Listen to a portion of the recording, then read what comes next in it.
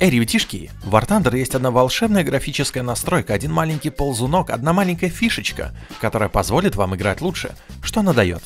Может быть, она будет стрелять вместо вас? Нет. Может быть, она будет отбивать снаряды?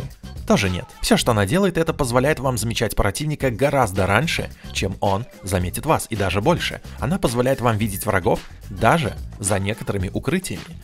Но как? Сейчас покажу. Есть в игре настройка, которая называется дальность деревьев. Звучит странно, не так ли? Что значит дальность деревьев? Смотрите, обычный лес на нашей любимой карте Арденны. Что мы видим? Да, пожалуй, ничего. А что если я скажу вам, что перед самым нашим носом в данный конкретный момент стоят два танка?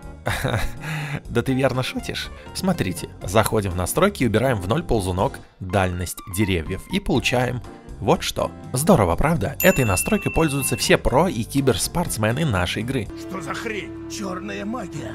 Колдун ебучий. Только что мы были уверены, что в этом лесу нас, конечно же, никто не поджидает. Именно эта фича позволяет врагам замечать вас там, где вы и не думали, что вас заметят. Сквозь кусты, сквозь деревья враги видят вас и готовы к тому, чтобы вступить с вами в бой. Более того, у них всегда есть право первого выстрела, а это очень важно, я бы даже сказал критично, в нашей игре, где ваншоты, к счастью, это одна из основ игры. Данная настройка не уберет скалу или дом, но на всех картах, где есть природа, где есть деревья, кусты и прочая растительность, Ребята, это настоящий геймченджер. Понятно, что эта фишка не будет стрелять за вас или позволит вам пережить три лома или четыре фугаса, но с этой маленькой графической особенностью ваша игра станет результативнее, а значит вы будете радоваться и получать чуть больше позитивных эмоций, чем обычно. Надеюсь, вам понравится. Надеюсь, что помог. Удачи!